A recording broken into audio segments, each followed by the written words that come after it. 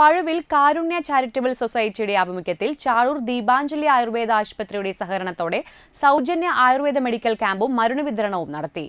കർക്കിടകം ഒന്ന് മുതൽ ഏഴ് വരെ തിരഞ്ഞെടുത്ത നൂറ് വയോധികർക്ക് മരുന്നുകഞ്ഞി വീട്ടുകളിൽ എത്തിക്കുന്നതിന്റെ ഉദ്ഘാടനം മുൻ M L A professor K U Arunan നിർവഹിച്ചു.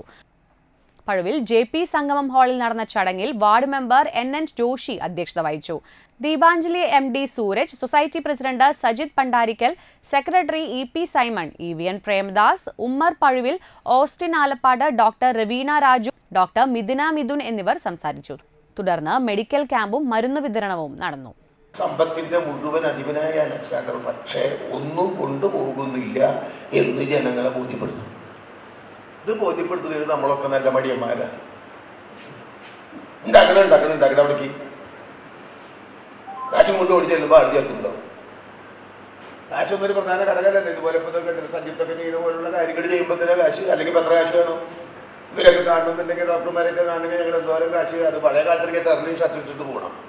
അപ്പൊ അതിനുള്ളിൽ നൂറിന്റെ അമ്പതിന്റെ എടുത്ത് വെച്ചാൽ അത് മതിയായിരുന്നു. ഇപ്പൊ അഞ്ഞൂറിന്റെ ആയിരത്തിന്റെ മുണ്ട് ചെന്നാലും കണ്ണോർക്കില്ല ഡോക്ടർമാർ നിങ്ങളല്ല ട്ടാ. ഞാൻ എന്റെ മൂത്ത ചേട്ടൻ അമ്പത് കൊല്ലം മുമ്പ് എം ഡി എടുത്ത ആളാണ്